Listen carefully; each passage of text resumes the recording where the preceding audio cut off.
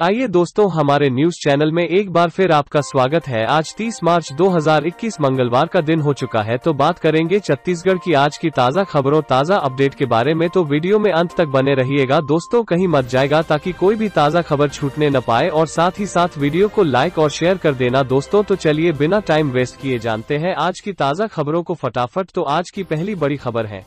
असम चुनाव। सीएम भूपेश असम के लिए रवाना। दूसरे चरण लिए करेंगे धुआंधार प्रचार। रायपुर। असम में विधानसभा चुनाव को लेकर राजनीतिक दलों के नेता चुनावी रण में कूद चुके हैं। मतदाताओं को लुभाने में एड़ी चोटी एक कर रहे हैं। इसी कड़ी में सीएम भूपेश बघेल भी सोमवार को असम के लिए रवाना हो गए हैं। असम में दूसरे चरण के मतदान को लेकर प्रचार प्रसार करेंगे। सीएम भूपेश बघेल एयरपोर्ट पर मीडिया कर्मियों से चर्चा की। उन्होंने असम में कांग्रेस पार्टी की सरकार बनने का दावा किया। सीएम भूपेश ने कहा कि पहले चरण की वोटिंग में अच्छा रिस्पांस मिला है। जनता कांग्रेस को सपोर्ट कर रही है। आगे भी बेहतर होने की संभावना है।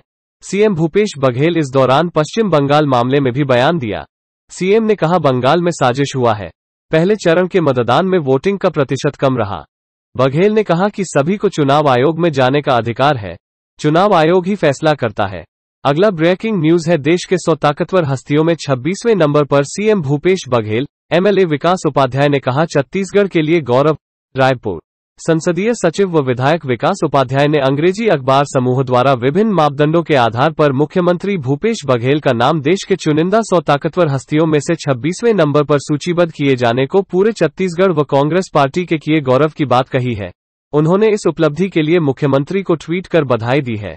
विकास उपाध्याय ने मुख्यमंत्री भूपेश बघेल को इस उपलब्धि के लिए अपने बधाई संदेश में कहा है, आप छत्तीसगढ़ के गौरव हो और पूरे कांग्रेस पार्टी को आप पर नाज है। पूरे देश में आज जिस तरह से राजनीति को कुछ लोग विपरीत दिशा में ले जाकर लोकतंत्र को धूमिल करने तुले हैं, इस दौर में आपकी यह उपलब्धि निश्चित तौर पर भारतीय राजनीति में एक स्वच्छ परंपरा को जन्म देगी। साथ ही साथ आपके उपलब्धि के पायदान को 26 से एक नंबर तक ले जाने बलवती प्रदान करेगी। साथ ही अगला ब्रेकिंग न्यूज़ है, छत्तीसगढ़ में 30 प्रतिशत तक सस्ती होगी विदेशी शराब, इस साल कोई दुकान बंद नहीं होगी। छत्तीसगढ़ में नए वित्तीय वर्ष में विदेशी शराब के दाम 30 प्रतिशत तक कम हो सकते हैं। इसके लिए सरकार शराब पर लगने वाली कुछ ड्यूटी को कम करने वाली है। देशी शराब के दाम इससे प्रभावित नहीं होंगे। इस वर्ष शराब की कोई दुकान बंद नहीं होगी। यह ज़रूर होगा कि शराब दुकानों की संख्या बढ़ाई भी नहीं जाएगी। राज्य सरकार हर साल आबकारी के लिए नई नीति बनाती है। इसमें शराब, भाँग जैसी नशीली चीज़ों की बिक्री और उस पर करारोपण का प्रावधान होता है। अगले एक दो दिनों में छत्तीसगढ़ सरकार अपनी नई नीति जारी करेगी। ये प्रावधान छत्तीसगढ़ की नई आबकारी नीति का हिस्सा है। राज्य मंत्रिपरिषद इसे पहले ही मंजूरी दे चुका है। यह नीति अगले वित्तीय वर्ष यानी एक अप्रैल से लागू हो जाएँगे। बताया जा रहा है कि एक दो दिन में नई नीति को अधिकृत तौर पर जारी कर दिया जाएगा। बताया जा रहा है, सरकार विदेशी शराब से ड्यूटी कम करने वाली है। तर्क दिया जा रहा है कि कुछ प्रदेशों में शराब सस्ती होने की वजह से तस्कर वहाँ की शराब लाकर छत्तीसगढ़ में खपा रहे हैं। इससे सरकार को राजस्व का नुकसान हो रहा है। इसके साथ ही अनियंत्रित और घटिया अवैध शराब से लोगों की जान भी सांसद में है। अगली बड़ी खबर है, दोस्तों, कोरोना देश में लगातार तीसरे दिन साठ हज़ार ऐसी ज़्यादा नए संक्रमित मिले। इस दौरान एक्टिव केसों में भी एक लाख से ज़्यादा की बढ़ोतरी। देश में कोरोना की दूसरी लहर तेज होती जा रही है। पिछले 24 घंटे में दुनिया में सबसे ज़्यादा नए मामले भारत में आए। यहाँ बीते तीन दिन से लगातार साठ हज़ार से ज़्यादा केस सामने आ रहे हैं। रविवार को अड़सठ हज़ार दो सौ छह संक्रमितों की पहचान हुई। यह आंकड़ा पिछले एक सौ उनहत्तर दिन में सबसे ज़्यादा है। इससे पहले पिछले साल 10 अक्टूबर को चौहत्तर मामले सामने आए थे। वहीं, बीते दिन बत्तीस लोग ठीक हुए और दो लोगों की जान भी गई। उधर, एक्टिव केस का आंकड़ा भी लगातार बढ़ता जा रहा है। देश में 138 दिन बाद एक्टिव केस का आंकड़ा पाँच लाख के पार पहुँचा है। फ़िलहाल यहाँ पाँच लाख अठारह हज़ार सात सौ सड़सठ लोगों का इलाज चल रहा है। इनमें एक लाख से ज़्यादा एक्टिव केस तो बीते तीन दिन में ही बढ़े हैं। इससे पहले पिछले साल 9 नवंबर को देश में पाँच लाख चार हज़ार आठ सौ तिहत्तर एक्टिव केस थे। अब तक एक दशमलव दो शून्य करोड़ लोग संक्रमित, देश में अब तक एक दशमलव दो शून्य करोड़ लोग इस महामारी की चपेट में आ चुके हैं। इनमें से करीब एक दशमलव एक तीन करोड़ ठीक हो चुके हैं। एक दशमलव छह एक लाख मरीजों ने जान गंवाई है। अभी पाँच दशमलव एक आठ लाख मरीजों का इलाज चल रहा है। ये आंकड़े covid nineteen India dot of से लिए गए हैं। साथ ही अगला ब्रेकिंग न्यूज़ है, महाराष्ट्र छत्तीसगढ़ बॉर्डर पर एनकाउंटर गढ़चिरौली में सी साठ कमांडोज और नक्सलियों के बीच मुठभेड़, पाँच नक्सली मारे गए महाराष्ट्र के नक्सल प्रभावित गढ़चिरौली ज़िले के खोबरा मेड़ा जंगल में सी साठ कमांडो टीम की नक्सलियों के साथ मुठभेड़ हो गई। इस दौरान जवानों ने पाँच नक्सलियों को मार गिराया मारे गए नक्सलियों में दो महिला और तीन पुरुष नक्सली शामिल हैं। मुठभेड़ के बाद जवानों ने जंगल से भारी मात्रा में हथियार भी बरामद किया है बताया जा रहा है कि इलाके में पिछले तीन दिनों से जवानों और नक्सलियों के बीच रह रहकर मुठभेड़ हो रही है। जानकारी के मुताबिक, देर रात पेट्रोलिंग के लिए कुरखेड़ा तालुका के खोबरा मेड़ा के जंगल में नक्सलियों ने अचानक से पेट्रोलिंग पार्टी पर हमला कर दिया, जिसके बाद क्रॉस फायरिंग हुई। इसी दौरान जवानों ने पाँच नक्सलियों को मार गिराया। गढ़चिरौली के एसपी का कहना है कि अभी फायरिंग रुकी हुई है। सर्च ऑपरेशन चल रहा है। इससे पहले एक अधिकारी ने कहा था कि शनिवार को जिला पुलिस ने एक राइफल और तीन प्रेशर कुकर बम जब्त किए थे, जिनका इस्तेमाल नक्सली कथित रूप से सुरक्षा बलों पर हमला करने की योजना के लिए कर रहे थे। नेक्स्ट अपडेट है दोस्तों, अप्रैल बैंक हॉलीडे लिस्ट। बैंकों में 10 दिन नहीं होगा कामकाज, दो दिनों की से होगी महीने की शुरुआत। एक अप्रैल से नए वित्त वर्ष 2021-22 शुरू हो रहा है। नए वित्त वर्ष के पहले महीने में अगर आपको बैंक में कोई काम है तो आपको 3 अप्रैल 2021 तक का इंतज़ार करना होगा।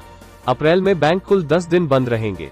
महीने के पहले दिन बैंकों के सालाना अकाउंट्स की क्लोजिंग के चलते कामकाज नहीं होगा। वहीं 2 अप्रैल को गुड फ्राइडे के कारण बैंक बंद रहेंगे।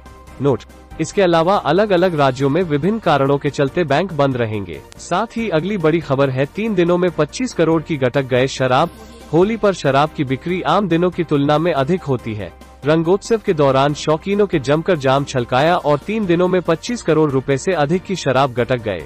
बिक्री में जोरदार इजाफा होने से आबकारी विभाग का राजस्व भी बढ़ा है। शराब दुकानों में तीन दिनों तक अच्छी खासी भीड़ देखने को मिली। सबसे ज़्यादा शनिवार को भीड़ रही है।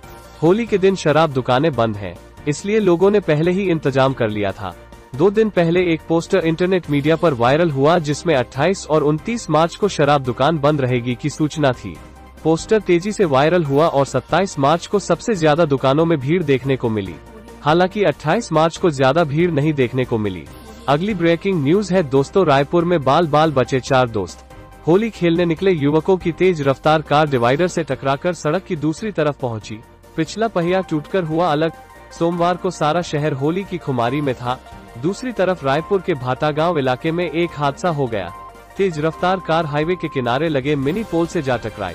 टक्कर इतनी ज़बरदस्त थी कि गाड़ी का एयरबैग बाहर आ गया। कार का पिछला पहिया टूटकर गाड़ी से अलग हो गया। जब हादसा हुआ, गाड़ी में चार युवक सवार थे। इनकी किस्मत ने साथ दिया, गाड़ी के बुरी तरह क्षतिग्रस्त होने के बाद भी किसी को चोट नहीं आई।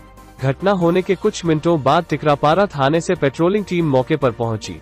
पुलिस के जवानों की टीम ने ही गाड़ी को सड़क के किनारे खड़ा किया। कुछ मिनट के लिए इस सड़क का ट्रैफ़िक रोका गया। टिकरापारा थाने से मिली जानकारी के मुताबिक युवक अपनी कार में सवार होकर हाईवे से चंगोरा भाटा की तरफ़ जा रहे थे। भाटागांव चौक से ठीक पहले किसी कार से टकराने से ये बचे और ड्राइवर ने गाड़ी मोड़ी दी।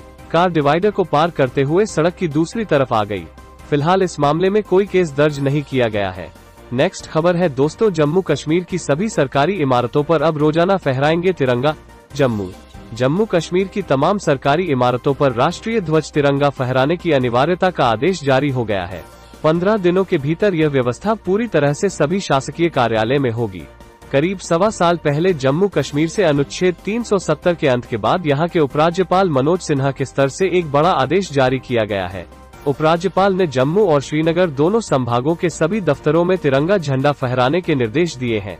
जम्मू कश्मीर के राज्य रहते नागरिक सचिवालयों समेत चुनिंदा बड़े सरकारी भवनों पर ही राष्ट्रीय ध्वज और राज्य ध्वज लगाए जाते थे। अनुच्छेद 370 हटने के साथ ही राज्य का संविधान और ध्वज भी खत्म हो गए।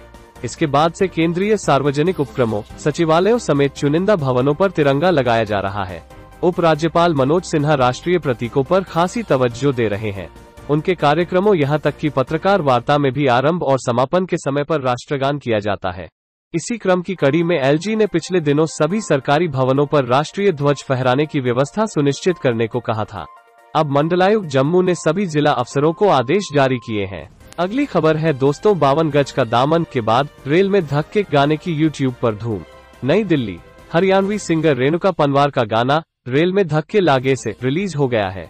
इस गाने ने यूट्यूब पर तहलका मचाने में कोई कसर नहीं छोड़ी है। बावन गज का दामन सिंगर रेणुका पनवार ने अपने गानों से इन दिनों यूट्यूब पर धमाल मचाकर रख दिया है।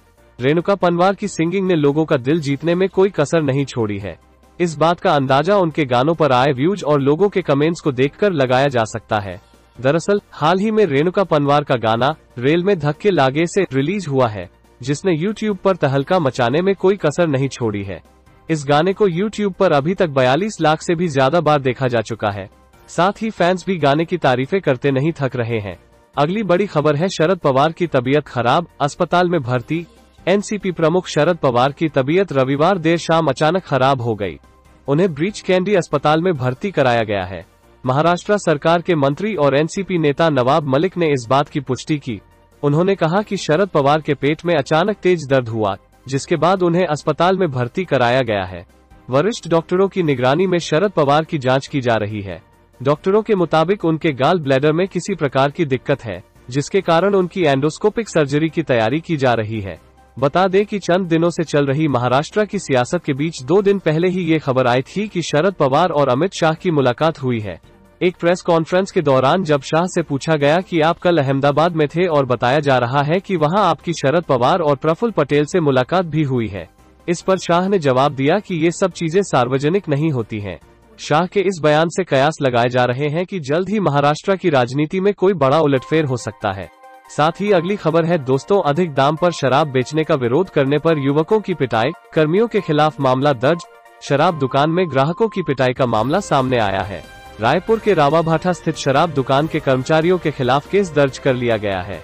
दरअसल ओवर रेट का विरोध करने पर दो युवकों से शराब दुकान के कर्मचारियों ने पिटाई की थी।